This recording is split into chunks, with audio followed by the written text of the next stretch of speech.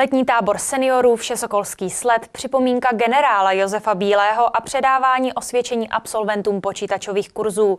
To vše vám nabídne dnešní Express Prahy 1, který právě začíná. Dobrý den vám přeje Markéta Pospíšilová. Praha 1 připravila pro své seniory tradiční letní tábor v Dobronicích u Bechyně. Ten se velmi podobá známým dětským táborům. Ani tady totiž nechybí ranní rozcvičky a společný zábavný či sportovní program.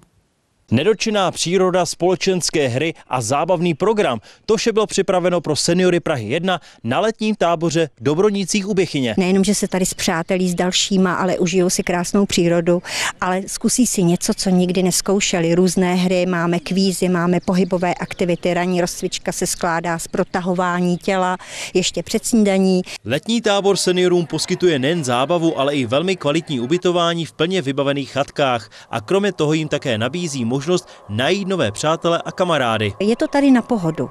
A myslím si, že všichni, co se sem rádi vracejí, ale i ti noví jsou nadšený, protože z té Prahy, z toho centra, sem do té přírody, prima parta, prima nálada. To prostředí a ta vůně z těch lesů, smrkových a borovicových, ta je úžasná. Tady je prostě vzduch naprosto jiný to prostě člověk tady přibere nejmín 3-4 kila, jo, to už se nedopnete.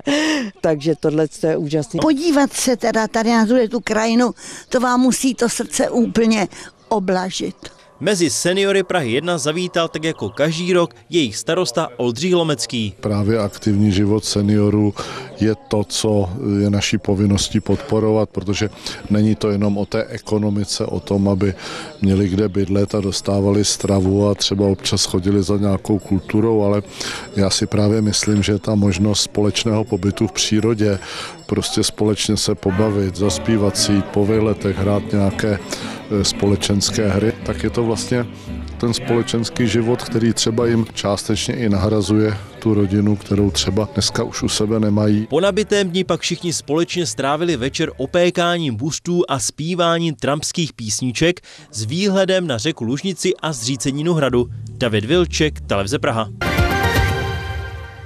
Seniori v první městské části žijí aktivně. Důkazem toho jsou také počítačové kurzy, které pro ně pořádá zdejší středisko sociálních služeb. Odměnou všem jejich absolventům je osvědčení o absolvování kurzu, které začátkem prázdnin převzali z rukou starosty Oldřicha Lomeckého. Středisko sociálních služeb Praha 1 pořádalo počítačové kurzy pro seniory, a to jak začátečníky, tak i pokročilé. Počítačové kurzy pro seniory na Praze 1 se dělí na dvě základní skupiny. První je pro úplné začátečníky, kteří ještě nikdy neviděli počítač. Takže tam se opravdu učíme, co je to myš, eh, pohybovat z myší, i když nám to přijde samozřejmě není úplně motoricky jednoduché pro starší lidi. A víceméně pomocí her a křížovek se učí s tím počítačem. Za ten rok se dostaneme k tomu, že automaticky používají e-mail. Potom tu máme druhou skupinu, to jsou lidé, kteří chodí třeba druhým rokem nebo už počítač mají doma a ty většinou chtějí něco navíc. To znamená, učili jsme se i s fotkama, s grafickými programy. Počítačové kurzy probíhají skupinovou, ale také individuální formou výuky. Počítačové kurzy v Tomášské ulici e, jsou trošku odlišné od těch kurzů, které se konají v Týnské v tom smyslu, že jsou to individuální hodiny. To znamená, jakmile má někdo nějaký problém, který v tom skupinovém kurzu nejde dost dobře vyřešit, protože prostě musí ta skupina pokračovat dál, že jo, každý má jiné tempo a tak dále, tak přijde tam. Osvědčení o absolvování kurzu předal seniorům sám starosta první městské části. Základním cílem počítačových kurzů pro seniory je naučit ovládat moderní technologie, eh, zejména komunikaci prostřednictvím mailů, ale také naučit základní eh, prvky elektronického bankovnictví. Mezi seniory je o počítačové kurzy velký zájem a samotná výuka je baví. No, mě to zajímá celý, od začátku až do konce. Bavilo mě tady úplně prostě všechno, protože máme vynikajícího lektora, který v případě nutnosti nám vždycky vyjde vstříc a pomůže nám. Nejvíc mě baví, že člověk eh, je v orientaci s výpočetní technikou. Další kurzy počítačové gramotnosti připravuje Středisko sociálních služeb Praha 1 opět od podzimu. Jaroslav Šetlík, Televize Praha. Praze 1 nově připomíná nacisty popraveného generála Josefa Bílého pamětní deska a pasáž v budově na rohu ulic Národní a Mikulanská. Právě tam armádní generál několik let žil a spolu založil obranu národa. Armádního generála Josefa Bílého, který byl popraven nacisty v roce 1941, připomínají nyní pamětní desky v Mikulanské ulici v Praze 1. Odhaleny byly slavnostně za přítomnosti členů armády České republiky i vedení první městské části. V Mikulanské čtyři pan generál Josef Bílý dlouho bydlel v podstatě až do doby, než odešel do ilegality po eh, vpádu nacistů do eh, Československa a e, pochopitelně mm, je potřeba našim hrdinům připomínat. Pan generál Bílý byl nejenom hrdina boje proti nacistům, ale byl taky hrdinou při e, v první světové válce. Jméno Josefa Bílého, který dostal na začátku letošního roku čestné občanství Prahy 1 in memoriam, nově nese také pasáž v budově na rohu ulic Národní a Mikulanské. Ano. Takže v tuto chvíli prohlašujeme pasáž mezi Mikulanskou a Národní za pasáž generála Josefa Bílého. Byl to za prvé vynikající voják, za druhé se projevil jako naprosto oddaný vlastenec a přes všechny útrapy, které teda bohužel musel zažít, tak, tak nezradil a, a byl popraven. A že je důležité připomínat hrdiny, kteří bojovali proti nacismu, zdůraznila i poslankyně a starostka Prahy 2 Jana Černochová. Ta Josefa Bílého navrhla na státní vyznamenání řád Bílého lva.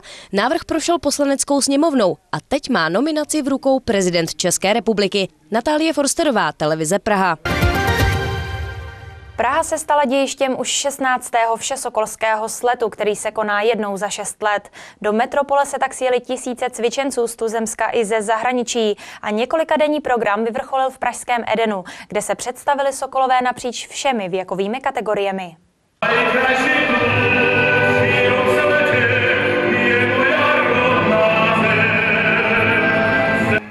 programem skladeb vrcholil v Praze 16. šesokolský sled. 10 skladeb představilo přibližně 15 000 cvičenců na fotbalovém stadionu v Edenu. Podle starosty městské části Praha 1 je tento ročník výjimečný nejen choreografií, ale i atmosférou. Co se týče choreografie, nápadu, množství cvičenců, se cvičení, eh, prostě eh, maximálně, maximální špička. Také jsem tady hovořil s našimi zahraničními partnery eh, z Dánska, z Brazílie. Oni byli uchváceni provedením, nápaditostí. Skvělou organizaci a program pozitivně hodnotí i týmy ze zahraničí, které se pravidelně účastní všesokolských sletů. Ta choreografie těch skladeb je velice jako dobře udělaná a právě pro, ten, pro to množstvo těch lidí, co to cvičí, je to úžasný. Sokolská župa Rakouská představila 60 cvičenců, kteří vystoupili ve třech skladbách.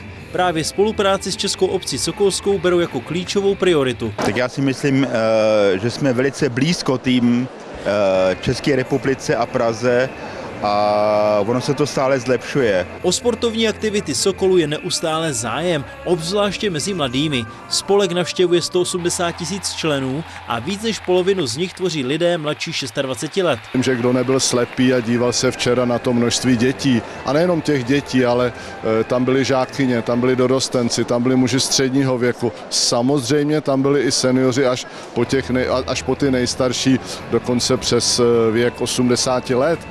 Sokol je úplně pro všechny. Sokol se věnuje 80 sportovním odvětvím. Má také kulturní část, pod níž spadají například divadelní, loutkarské či pěvecké soubory. Od svého vzniku před 150 lety patřil k hlavním hybatelům českého společenského života. Jeho tradici nedokázali zničit ani zákazy. David Vilček, Televize Praha. A to už bylo z dnešního scénáře vše. Já vám děkuji za pozornost, užívejte si letní dny a nezapomeňte se opět dívat příště na Express Prahy 1. Brzy na viděnou.